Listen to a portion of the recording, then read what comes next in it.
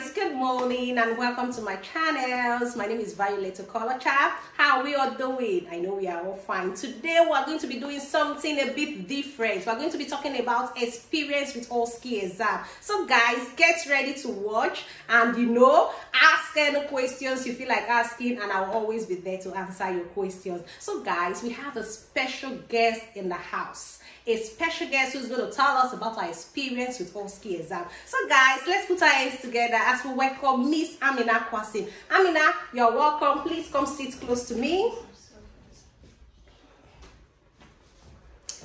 Thank you so much, Amina, for coming online. I truly appreciate this. So, Amina, could you introduce yourself, please? Hello, my name is Amina. Uh, I'm a nurse, obviously. Okay, so Amina, what unit or department do you work?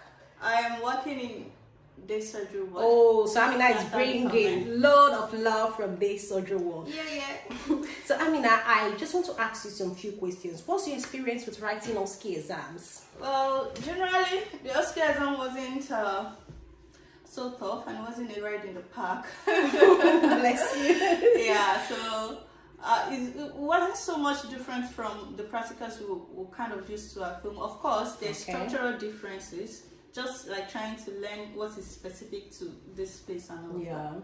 So it wasn't bad. On a general, it is quite simple, but you need to know what you need to know.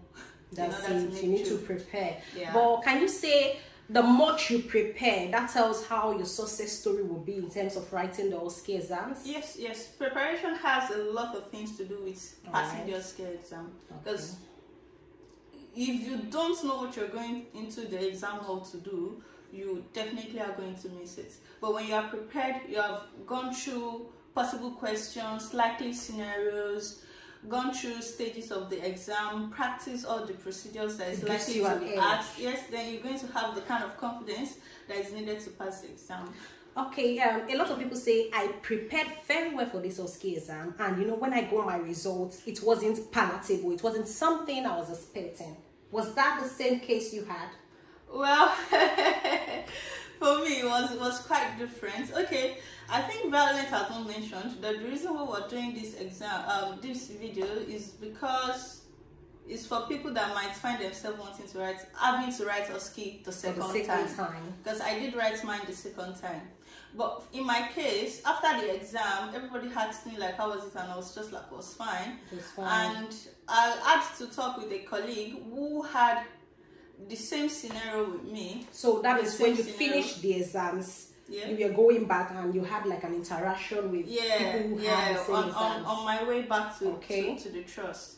And so um, she was quite sad that she gave a wrong medication and I was just like trying to console her. She gave a wrong dose of a particular medication. I was trying to console her and all of that. Don't worry. Yeah, yeah. I was trying to be the good girl, holding her hand, patting her back, squeezing her hand, and all of that. And then we got talking about how many drugs she gave, and then she said she gave two, and I'm like, what? I gave three.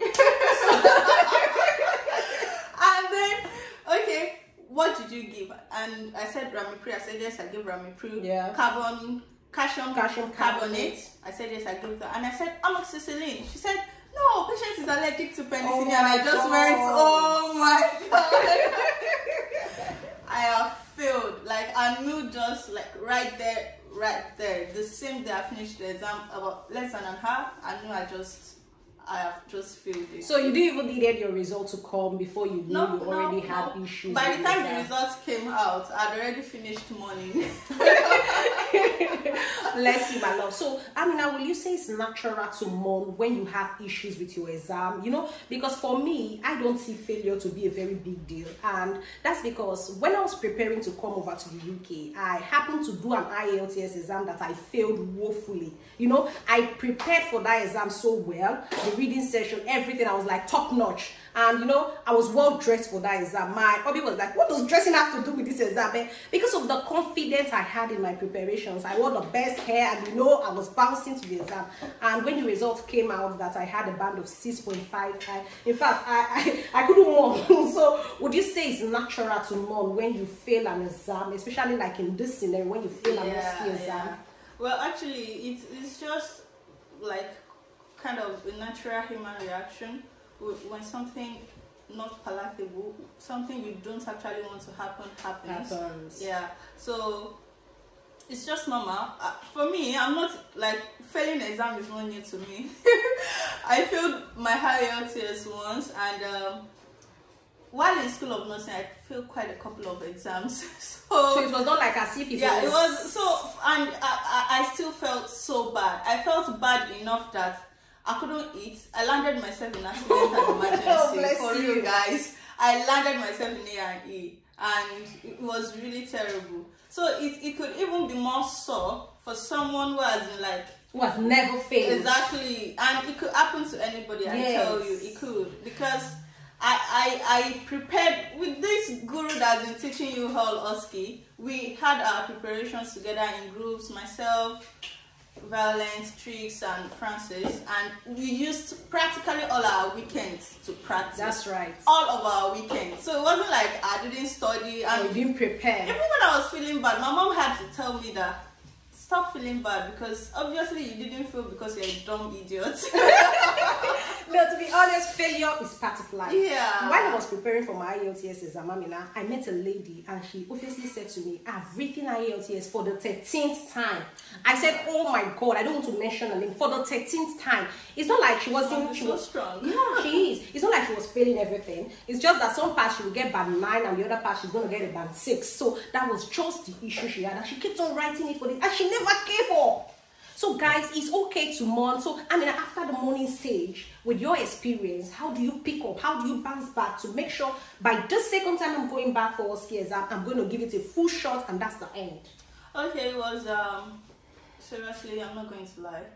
I had a lot of support.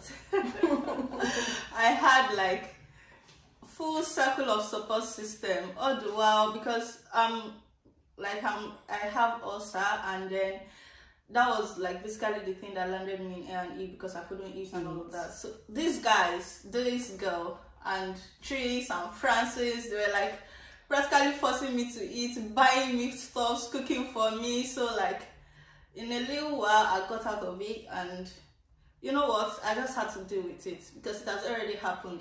And then it is even more sad because it was just me within my study group that didn't make the exam. So it was yeah. just it's not something that is easy to, to take in.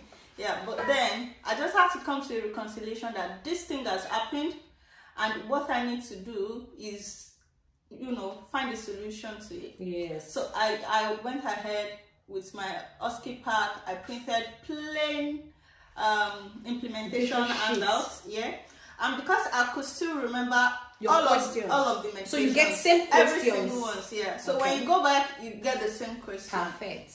So because I could still remember every single of the medications, so I I, I fill that out, make some of my friends like check the time, be my examiner, yeah. and then I carry multitude of similitude yeah. practicals, you know, and then you're good that now. just it. Yeah. yeah. So going back in there, wrote you... it again, and bounce back. Bless you. So, Amina, could you tell us why some people fail to share with their friends, or rather, that they failed or skills? I mean, some people they don't just want anybody to know. Would you say it's denial? Because some people, even when their result is out, they say like, "I didn't make this mistake. If only I could get my script. I can't this mistake. Is it possible? You know? What do you have to say about that?" Well, I would say like before the exam, even like while we were in the waiting room, if someone had come to me and said, babe, you are going to miss an allergy, I'll probably shoot the person like, get, yeah. get out of here because apparently I got to the patient and I was like, what's your name? Told me their name. I was like, oh, do you have any allergies? Said penicillin yes. and peanuts. And I'm like, okay, don't worry. We'll make sure we don't give you anything that has penicillin and anything that has peanuts in the hospital. I said, okay. And then I got onto the drug chart and the first drug was amoxicillin and I still went ahead to give. Oh, and, you know, there were so many clues because by the time I got to the calcium gluconate, on the calcium gluconate, it says this calcium gluconate was not made with anything that has peanuts. You know, okay. it's like an aid for me to, to get that. You. Yeah, didn't get it. No, I didn't. bless you. It I was still- destined. God wanted you to write Yeah. the exam a second time and probably do a talk I, I to still people. didn't get it. So I, I went ahead, gave the medication and all of that. So there is no, there is like, of course, we, we all know that there are stages of grief, Yeah, denial, of anger, bargaining, depression, Yeah. acceptance. Yeah. So while you, it is normal to be at the denial state because the, the immediately I realized I failed the exam. Yeah. I was still like kind of hoping that maybe I was dreaming of like, the Yeah, kind of miracle. something should happen. It is okay to Mom, go through the denial stage but don't don't swim in it That's don't it. don't get drowned in it Yeah. like just try to like get up it might be very difficult and all of that Yeah. nobody is be above any kind of mistake that's right. nobody, Nobody regardless even if you've been like a top A student Yeah. all through your life. I mean, I'm sorry to cut you. I met Yeah. someone who shared with me her experience. She said to me, Violet, I've never, never failed in my life. So while we are preparing for this OSCE and it was like, what is that? You know, it's so simple. And you know, when the result came out, she failed. And when she was sharing with me, I said, God wants you to fail. You know, obviously Yeah. you've never failed before, and you just have to test it now. lessons, You know. Because as I am, I, I'd say I've failed on various degrees, and I can tell you, I know for myself that I'm not dumb. And people that No, knows to be me honest, you are one of the most dumb. brilliant person I've met in my lifetime, and that is the truth. Yeah. You are skillful in what you do. So what I just believe is all of the while it's just like giving me an edge. I could talk to someone that is failing, you know, Yeah. and give them from my And the person will listen because inspire them because I have experienced it That's myself. right. So, Amina, do you think confidence has a role to play in your skills, exam? Yeah, very well. You you have you know when you practice enough, that's when you're going to have the confidence that's needed. That's confidence right. is very needed, but Yeah. then you have to be able to balance Okay. between being confident And and overconfidence. being overconfident. That's right. You know, you have to be confident to do the exam, but Okay. you shouldn't be overconfident because Yeah. you sometimes being overconfident makes you absent in the exam. That's right. You That's just right. like do what you like No, know, and because you then I'm yeah, you have to because, think, go like, my pen ready. This kind of small thing can fail me because Yeah. during my implementation, I still had some minutes left, and I could like I had the time to go, Go back, and all of that. You but correct your mistakes. I didn't see it because I wasn't present, you know. That's and right. then so you have to be confident, but you have to be able to strike a balance between being confident and and overconfidence. Guys, so well, in fact, I, I'm even learning a lot from Amina today. I can attest to that. Um, Amina, can I just quickly say something to you? What are the common errors people get it wrong in OSCE exam? You know, Okay. come the little errors people get it wrong. Yeah. Well, because I failed the implementation, I'm going to start from there. Okay. one major thing I heard, like one thing I have heard before I went for the exam was that the number of cups, The the number of pots of medication pots you have is likely the number of medication you're going to be given. So that day I saw three medication pots. So you are doomed, you know? Yes, Wrong because in my mind it was like all these things are coming to pass. But it doesn't matter. If they put five medications, you might be serving just one. Yeah. If they put three medication pots, you might be serving two. Yeah, that's put nothing to do with the Three numbers. medication you might be serving four medications. So the number of medications you're going to serve has absolutely nothing to do with the number of medication pots You're giving. give. Also, another thing that happened was the first drug on my chart was paracetamol, Okay. and it was like giving about three hours before. So Yeah. apparently, I know I'm not going to give you know Yeah, but lots of people make that mistake. yeah, people people make that kind of mistake. So when you count your paracetamol hours, say they give at 11 Yeah. a.m. So you're going to the secret to counting is you're counting from 12. yes from 12 because from 11 a.m. to 12 a.m. is just one hour. Yeah. If you count from 11, there You is no hour. Yeah. So 12 a.m., 1 a.m., 2 a.m. and 3 and then 3 p.m. is Perfect. when you are supposed to give the, the medication message. is due. Yeah. So that's just that Part of that. the. And also, do not think that because you have a trap, because my my paracetamol was not due. Yeah, it was like and- a trap actually. Yeah, it was a trap, and I was able to like figure Pass that out. trap. I'm like, yeah, I got Oh, them. But there was another one waiting. You know, so don't think because there is a trap initially and you've that it. trap, you you can't like get another trap, yeah. along the way. So there could be two or three traps in a single question. Yeah. Always look out, be present in your exams and read through. Yeah. Also, uh, another very common mistake is during assessment and during planning. Yeah. In assessment stage, you you most likely are getting a scenario whereby the patient is just coming into the hospital. Yeah. You know, like the patient is just coming into the facility. Yeah, and then you're assessing. But when you get to planning stage, sometimes they've given like a certain kind of care. Maybe they've done the operation and they want you to plan for yes. post-op. Or maybe they've like now come to the patients, the patients that came in with shortness of breath does not have shortness of anymore. breath anymore, but the patient is now in pain. Yeah. So always read the read. question prompts. Read your planning instructions. planning because most times they are changed. They are changed. And so if you don't look at it, you're going to plan for what you have in assessment, assessments, which is not a current need. And that would definitely be a fail. Yeah. Because I mean, I know some people say I had CCF in my assessment, and obviously in the planning I didn't read anymore, and I was to plan for end of life, and yeah. I doubled back to you know. So you have to be able to read your planning very well and be able to differentiate always Always read. Don't assume. Always, always read. Wow, I mean, Thanks and, so much. Oh, sorry, I'm okay. just going to add. And the writing, don't forget to like sign. Signing, signing oh. even fails people. Signing, That's like right. common signing. You go back. You're going to go back to sign. go back to sign. Like crazy, crazy, crazy, crazy things.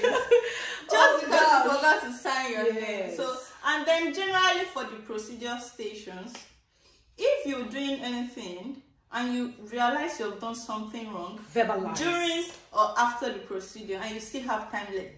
Verbalize. Yeah. Say examiner i have done this. Yeah. What do i need to do?